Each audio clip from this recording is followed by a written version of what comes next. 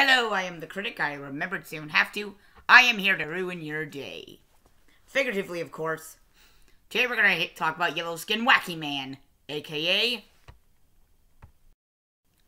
aka the Creeper. For those of you who don't know, the Creeper was especially made not just for the animated series, but as an all-time superhero. A known reporter, because you know people hate reporters one Jack Ryder, who would usually get into Batman's hair or Bruce Wayne's hair about whatever they wanted to know. Usually, he usually went through Batman because everybody wanted to know what Batman's identity was, and you know.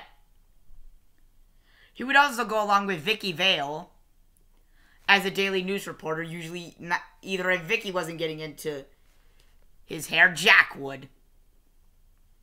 So yeah, basically Jack Ryder basically gets a little bit of irony, and I'm telling it from the animated series' point of view, where the Joker says, "Hey, you want to see how it actually happened on Bat, how how Batman made me?" Because he tells a lie about how the Joker was well created because because well he's Jack Ryder and he's like Cartman from South Park. That's the best analogy I can think of. He is Cartman from South Park. So he gets pushed into a vat of acid.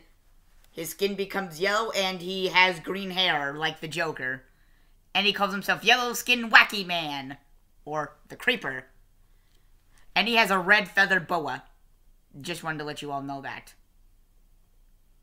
There's a great origin I will put in the video below along with Mojo Jojo's version of The Creeper which is also based on a 1930s radio show called The Man from the Thing.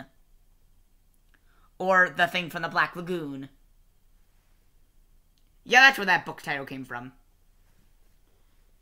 So yeah, that's all your friend the critic has to say this week. Tune in next time, where you people get to tell me what I should review. Good night, everybody.